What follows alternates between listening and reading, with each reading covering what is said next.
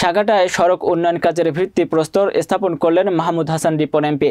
বিস্তারিত দেখুন গাইবান্ধা শাখাটা প্রতিনিধি নূর হোসেন রেইনের প্রতিবেদনে। গাইবান্ধা শাখাটা উপজেলা স্থানীয় সরকার প্রকৌশল অধিদপ্তরের বাস্তবায়নে প্রায় এক কোটি টাকা ব্যয়ে উল্লাস সোনাতলা ও কচুয়ায় নয়শো বিশ মিটার দুটি সড়ক উন্নয়ন কাজের ভিত্তিপ্রস্তর স্থাপন করা হয়। ভিত্তিপ্রস্তর স্থাপন করেন জাতীয় সংসদের গাইবান্ধা পাঁচ আসনের সংসদ সদস্য মাহমুদ হাসান রিপন। এ সময় এলজিইডির গাইবান্ধা জেলা প্রকৌশলী ছাইবুল ইসলাম শাখাটা উপজেলা প্রকৌশল নয়ন রায় কচুয়া ইউনিয়ন পরিষদের চেয়ারম্যান লিয়াকত আলী, সাবেক ইউনিয়ন পরিষদ চেয়ারম্যান মাহবুবুর রহমান, ঠিকাদার আব্দুল আজিজ ও রফিকুল ইসলাম সহ আওয়ামী লীগ ও সহযোগী অঙ্গ সংগঠনের নেতা কর্মীরা উপস্থিত ছিলেন। এর আগে সকালে শাখাটা উপজেলা অডিটোরিয়াম হলরুমে জাতীয় সমাজ কল্যাণ পরিষদ থেকে এককালীন আর্থিক অনুদান হিসেবে একশো আটানব্বই জন অসচ্ছল রোগীকে শাখাটা উপজেলা সমাজসেবা অধিদপ্তরের উদ্যোগে প্রত্যেককে দশ হাজার করে উনিশ লক্ষ আশি হাজার টাকার চেক প্রদান অনুষ্ঠানে প্রধান অতিথির বক্তব্য রাখেন সংসদ সদস্য মাহমুদ হাসান রিপন।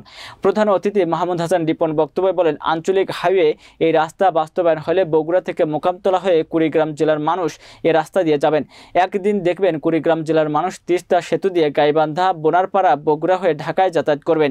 বিশেষ অতিথির বক্তব্য রাখেন গাইবান্ধা জেলা সমাজসেবা অধিদপ্তর উপপরিচালক ফজলুল হক, শাখাটা উপজেলা নির্বাহী অফিসার ইসাহাক আলী, শাখাটা উপজেলা সমাজসেবা অফিসার মশুর রহমান সহ আরও অনেকে।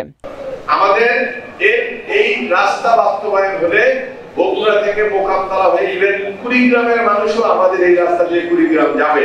কারণ কুড়িগ্রামের সুন্দরগঞ্জে তিস্তা সেতু হচ্ছে প্রায় দেড় কিলোমিটার লম্বা একটি ব্রিজ কুড়িগ্রামবাসী একসময় দেখবেন আপনার বোনার পরে যে গাইবান্ধা এই দিক তারা ঢাকায় যাবে।